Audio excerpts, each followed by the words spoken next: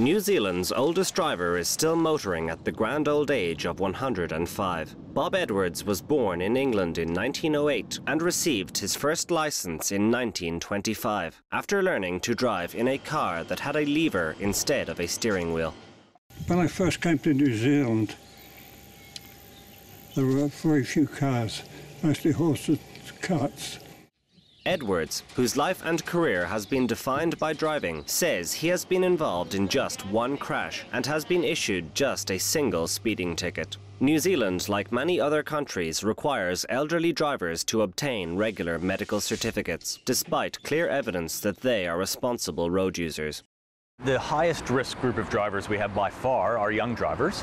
Uh, older drivers on a per kilometre driven basis uh, are involved in far fewer crashes than younger drivers. When asked about the distinction of being the world's oldest driver, Mr. Edwards commented that he does not think of himself as old and has no plans to stop his three times weekly shopping trips.